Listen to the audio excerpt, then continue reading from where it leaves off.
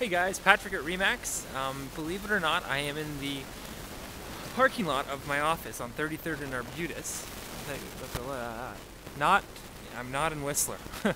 um, I just wanted to wish everybody, all my viewers and uh, clients, a Merry Christmas and a Happy Holidays. And if you guys would like to learn more about the history of our beautiful city, uh, Vancouver, go to the video blog section on my website at patrickdunn.ca. Um, talk to you guys later, and I will see you in the new year. Bye bye.